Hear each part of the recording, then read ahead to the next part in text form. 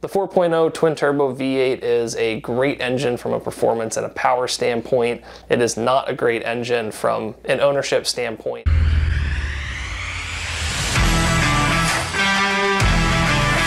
Hey everyone, Jake from 8020 Automotive here. Today we're talking about Audi's 4.0 twin turbocharged V8 engine. The 4.0 twin turbo V8 is most commonly used in the S6, S7, RS7, S8, the A8, and a number of other vehicles. The twin turbo 4.0 V8 is extremely powerful. It can handle a ton of power, able to make upwards of 700 wheel horsepower on the stock internals, and with a handful of modifications, they can easily produce upwards of 900 wheel horsepower. So these are very strong and capable engines. However, it does have a few challenges and issues from a maintenance and a reliability standpoint, and that predominantly comes from the fact that this is a hot V design. A hot V V8 essentially means that the two turbochargers are located in the middle of the engine, in the valley in between the two cylinder banks. And so because your turbochargers are located directly in between and on the top side of the motor, this engine style tends to produce a ton of excess heat around important components of the motor, and that leads to some reliability issues. With that being said, I'm gonna go ahead and jump in and talk about some of the most common problems these engines experience because of the hot V. So the most common problem, or at least most talked about issue on these engines is with the turbocharger oil screen clogging. The turbochargers have an oil screen that catches any dirt, gunk, or debris from entering into the turbochargers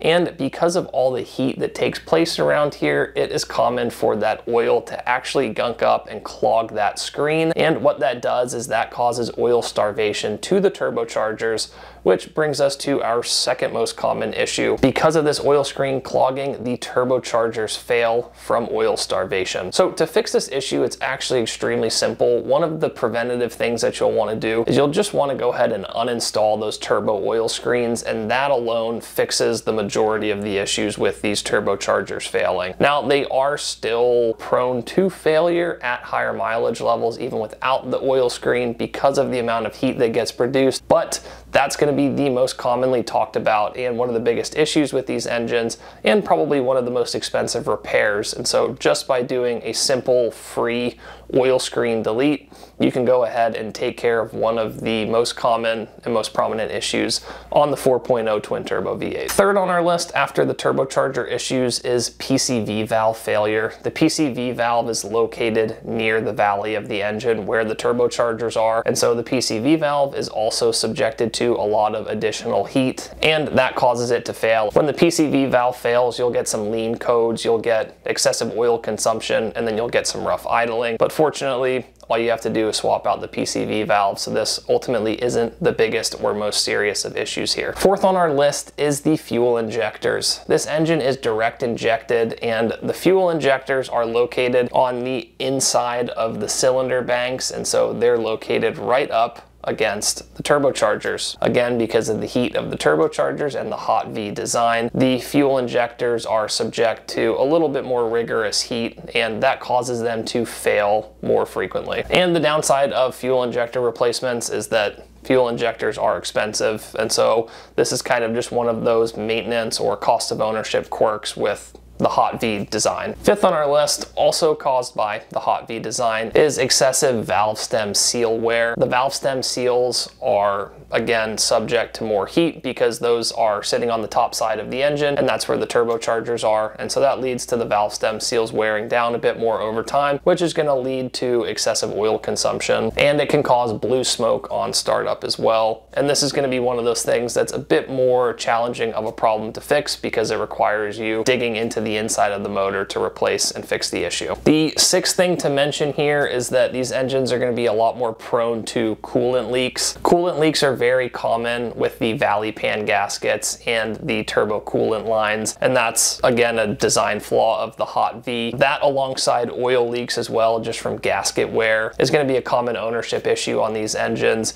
because there's a number of gaskets and seals that are located right around these turbochargers producing all that heat. You tend to get those wearing down more often, causing coolant leaks and causing oil leaks. The issue with these coolant leaks, which tend to be a little bit more serious, is that getting to replace the valley pan gaskets and doing the turbo oil lines requires a lot of disassembly of the engine. And so from a repair cost standpoint, there's a lot of labor involved in it. A few last small things on our list here is these are direct injected vehicles, so you're gonna get carbon buildup over time. And then lastly, these engines are prone to excessive oil consumption. Generally, once they start getting to higher mileage levels, they start to consume a quart of oil anywhere between 1,000 to 3,000 miles, and that's usually caused by valve stem seal wear as well as possible PCV issues. Overall, the 4.0 twin turbo V8 is a very powerful motor. It's a great motor from a performance standpoint, but it has quite a few design flaws because of the hot V design that ultimately lead to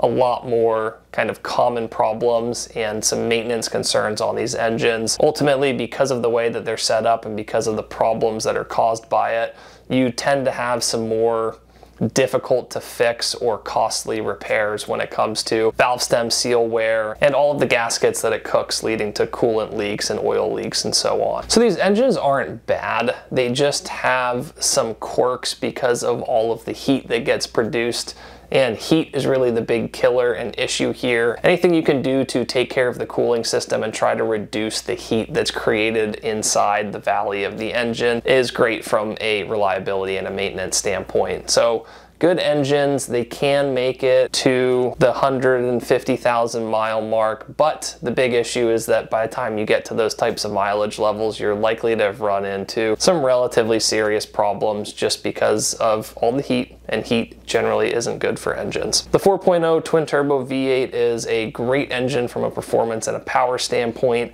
It is not a great engine from an ownership standpoint once you get to high mileage and have a lot of wear and tear. So that wraps it up for our video on Audi's 4.0 twin turbo V8. If you guys appreciate this video, please click the like button, subscribe to our channel, and stay tuned as I'll do a mod video talking about power levels, limits, and the best modifications on this engine coming soon.